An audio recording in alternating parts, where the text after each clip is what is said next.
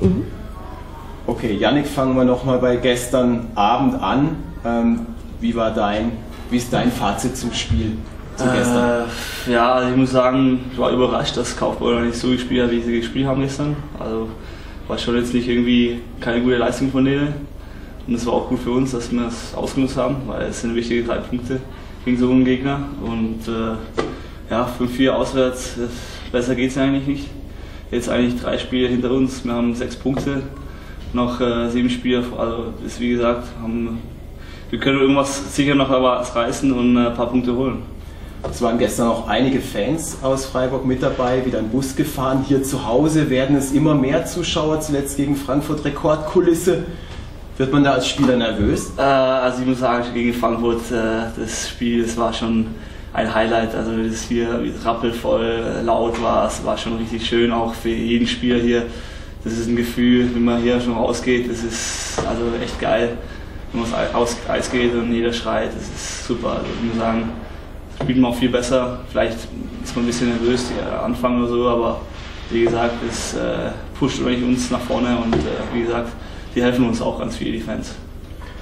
Zu deinem Spiel, wenn ich dich beobachte, du bist ein Spieler, der immer Vollgas gibt, immer voll dabei ist und äh, auch oft tief vorcheckt in der gegnerischen Zone.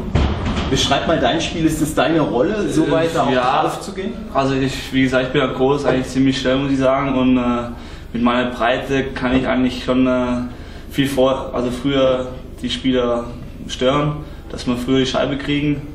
Manchmal klappt es, manchmal nicht, aber wie gesagt, das ist auch jetzt die Aufgabe von mir, dass ich äh, bisschen nach vorne vorcheck und äh, ja, das ist halt einfach die Aufgabe jetzt. Ja.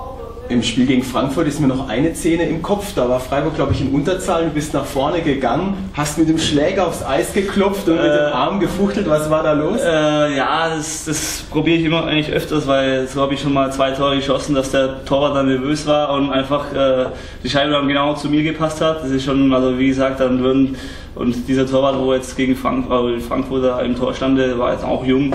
Und wie gesagt, da habe ich gedacht, vielleicht, vielleicht macht er irgendwie so einen Kicks und passt mir vielleicht auf den Schläger oder so. Oder ich probiere es immer öfters, weil das ist, wie gesagt, das ähm, hilft auch ein bisschen manchmal, dass, man bisschen, dass die ein bisschen nervöser sind und so. Und, ja, so meine. Draufgehen. ähm, zur Aufstiegsrunde insgesamt, jetzt nach drei Spielen sechs Punkte. Bist du darüber überrascht?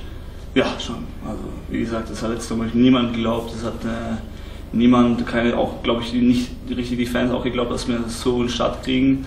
Und äh, das ist, wie gesagt, schon eine Überraschung und äh, auch positiv für uns, dass wir jetzt das auch so gemacht haben. Also, Wenn du jetzt an die nächsten Spiele denkst, daheim gegen Kaufbeuren und in Selb, worauf müsst ihr achten? Vielleicht erstmal speziell den Gegner Kaufbeuren, den vom Freitag. Jetzt auch morgen nochmal die Überraschung zu schaffen, nochmal zu schlagen. Auf was müsst ihr aufpassen? Ja, aufpassen. Wie gesagt, jetzt, wenn wir morgen gewinnen, dann haben wir sechs Punkte Vorsprung vor Kaufbeuren. Das wäre wieder ein ganz großer Schritt nach vorne und äh, wir müssen einfach wieder von der ersten Minute anfangen, ohne Fehler. Also, klar, Fehler sind immer, aber halt, dass wir probieren, keine Fehler zu machen und dass wir wieder mindestens zwei, drei Punkte holen. Das wäre super. Also, wie gesagt, das muss man jetzt Konzentration auf das Morgenspiel und dann sehen wir weiter, was dann passiert. Hast du schon mal versucht so zu rechnen, zu überschlagen, wie viele Punkte braucht man, um Platz 4 zu schaffen? Ja, klar, wir reden da darüber, was da so, aber wie gesagt, wenn jetzt zum Beispiel jeder, jedes Team äh, zu Hause fünfmal gewinnt, dann äh, reichen ja jetzt nicht, zum Beispiel, wir haben gesagt, so vier äh, Siege würden reichen, zwölf Punkte, aber wie gesagt, es wird äh, vielleicht mit vier, fünf Siege wird das reichen, mal gucken. Also da kann man jetzt nicht so irgendwie spekulieren, einfach Spiel zu Spiel, weiter, weiter und äh, so viele mögliche Punkte holen, wie es geht. Nach über 50 Spielen mittlerweile und Eishockey zu Sommertemperaturen, auf was kommt es da mehr an? Auf den Kopf, dass man nach so einer langen Saison auch noch psychisch dabei ist? Oder ist es eher die Physis, dass du sagst, äh, jetzt kommt es auf den Körper an? Beides. Also jeder muss sich ja vorbereiten. Für, also so im Spiel, klar ist man müde, aber wie gesagt, mit so einer Kulisse hier muss man sich eigentlich freuen, dass wir das bei uns spielen dürfen. Das ist, äh, macht ja eben Spaß und äh, wie gesagt, das muss man genießen, diese Spiele hier. Und äh, ob jetzt jemand müde ist oder nicht müde, das kann jetzt niemand irgendwie dran denken. Wir müssen einfach weitermachen, dass wir den Ziel erreichen, dass wir mindestens den vierten Platz kriegen. Hast du schon mal so lange gespielt? Bis in den April rein? Äh, mit der Juniorenmannschaft, wo ich äh, mit Pilsen extra Liga gewonnen habe. Da waren wir schon fast so bis den 10. oder so haben wir gespielt. Also, aber das war noch einmal Zilling. Ja. Du bist in Karlsruhe geboren und hast in Pilsen im Nachwuchs Genau. Eishockey gelernt. Genau. Wie, erzähl mal, wie ist es dazu gekommen?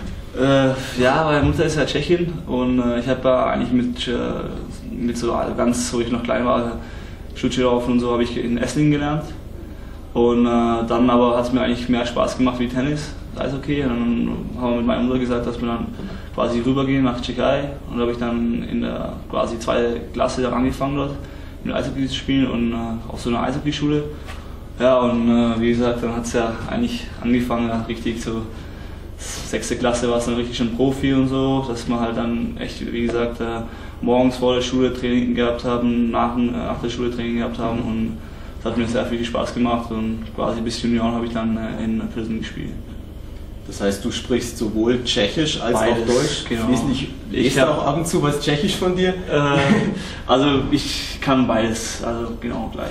Also, Wenn du über was nachgrübelst, denkst du dann in Tschechisch drüber nach oder in Äh, Deutsch? Also wenn ich zum Beispiel zum ähm, Zählen oder so irgendwie Zahlen im Kopf habe, dann Okay, wenn ich dich hier im Umfeld immer so sehe, du bist immer gut drauf und richtig einfach mit Spaß bei der Sache. Du bist, bist du schon 100% hier in Freiburg angekommen? Ja, also in der ersten Woche, wo ich hier war in Freiburg, hat mir alles, wie gesagt, ich war in Degendorf eigentlich unzufrieden, sehr unzufrieden. Und wo ich dann hierher kam in die Mannschaft, war alles wieder positiv. Super Leute, Mitspieler, hier auch die Stadt, das ist alles, macht Freude hier. Und äh, wie gesagt, das, ich genieße es hier richtig. Also es macht mir wirklich Spaß, auch jetzt in den Playoffs hier. Das einfach ein Traum, habe ich äh, lange nicht mehr erlebt sowas und bin sehr jetzt froh, dass ich hier spielen darf. Dann noch ein letzter Ausblick auf morgen. Was können die Fans von dir und von der Mannschaft morgen beim Spiel gegen Kaufbeuren erwarten? Ja, das ist, äh, wir müssen einfach von der ersten Minute kämpfen, kämpfen und äh, dann wird man sicher irgendwie ein paar Punkte oder ein Punkt, zwei Punkte, das ist ja auch eigentlich, jetzt jeder Punkt ist wichtig und wenn wir jetzt einfach kämpfen und äh, die Defensivarbeit gut machen, dann können wir sicher irgendwas wieder reißen. Deswegen da glaube ich auch, die ganze Mannschaft glaubt dran, dass wir es wieder packen. Ich drücke euch die Daumen. Dankeschön. Alles klar und bis morgen.